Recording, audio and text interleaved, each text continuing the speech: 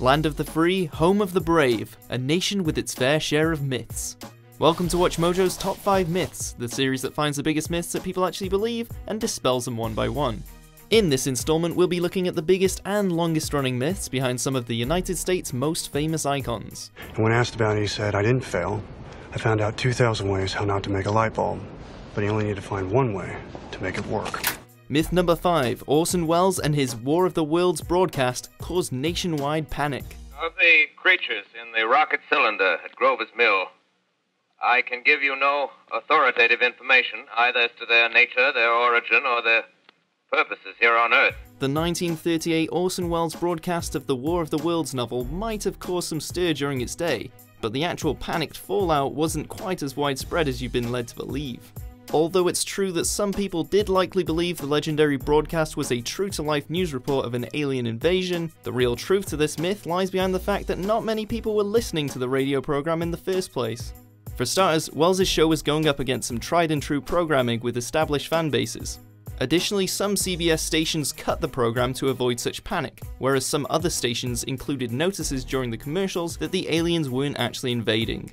The real reason why this myth persists to this day is because newspapers, which were in fierce competition with the radio, pushed this idea to the forefront of their pages in an effort to cut down radio's reputation to their readers. And there before my eyes, stark and silent, lay the Martians with the hungry birds pecking and tearing brown shreds of flesh. Myth number 4 Walt Disney, or just his head, is cryogenically frozen. Oh, hey, did they ever unfreeze Walt Disney? Uh, unfortunately. Welcome back, Mr. Disney. Are the Jews gone yet? Uh, no. Put me back in. Okay, let's get this one out in the open right now. Walt Disney is not frozen, nor is any part of his body preserved through human cryogenics. The Disney founder was profoundly interested in the subject, however, going as far as to have people at his Walt Disney studio call the president of the California Cryogenic Society, Bob Nelson, asking an abundance of questions about their facility and what went into the cryogenic process. The truth behind this myth then likely stems from an interview that Nelson did with the Los Angeles Times, where he mentioned how he felt that Walt, judging from his interest, wanted to be frozen, despite the fact that Disney was in fact cremated after his battle with lung cancer. Cryonics. It was a kind of fad in the late 20th century. People feared dying. It terrified them. The other interesting factoid about this myth is that two weeks after Disney's death was the first time a man was ever cryogenically frozen. Myth number 3 Thomas Edison invented the light bulb. We're just gonna take a wild guess that you dig myths since you're here. Well, it turns out that Thomas Edison also enjoyed a good myth, especially those surrounding himself and his abilities.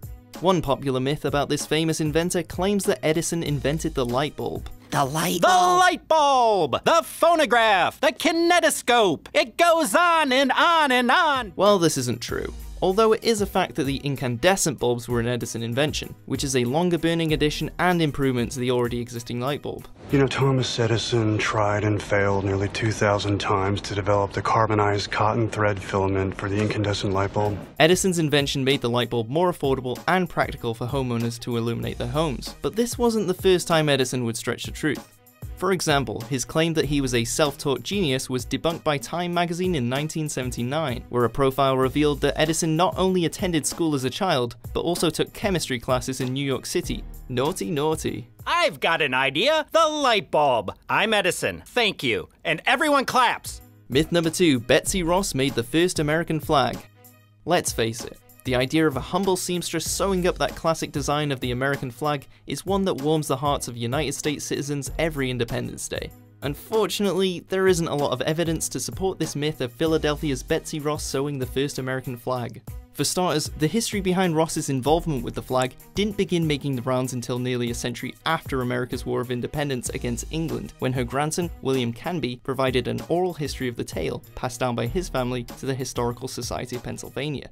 It's true that Betsy Ross did sew flags for the Pennsylvania Navy, but there are no mentions or records of Miss Ross being tasked by a Congressional Flag Committee and George Washington, as per Canby's story, to create a template which would become the Stars and Stripes of America. I haven't been this disillusioned since I found out that Betsy Ross didn't design the American flag. I mean, she was my role model. Myth number 1 George Washington had wooden teeth. There are an abundance of myths surrounding the first president of the United States, Colonel George Washington, from chopping down a cherry tree to this number one American myth on our list. Did George Washington actually have wooden teeth? I would remember a man with wooden teeth. Well, President Washington did have extremely poor dental hygiene and began losing his teeth early on in life. Man, you should really brush your teeth more because that is not normal. Oh, oh Charlie, stop pulling your teeth out They're like just that, man. coming It's right freaking me out. He would eventually have false teeth constructed from a number of different sources. These included ivory, lead, and even teeth from the mouths of various humans, all held together by metal fasteners. The dentures worn by Washington during his inauguration were made with gold, brass, and hippopotamus ivory, thanks to the fact that only one surviving original tooth was left in his mouth. And when that one went, Washington gave it to the dentist as a keepsake. Okay, Charlie, now you gotta stop. You really gotta stop. Just give them to me. Give me all the teeth. Okay, I got them in my pocket. So, which of these myths did you believe? This is what Google searchers are asking about American icons. Did George Washington ever smile? Is Orson Welles related to H.G. Wells? Can Walt Disney be revived? Put Walt Disney's head on the phone. Then wake it up. For more patriotic top 10s and star spangled top 5s, be sure to subscribe to WatchMojo.com. You're trying to sully Edison's good name, and nobody messes with my man Tom.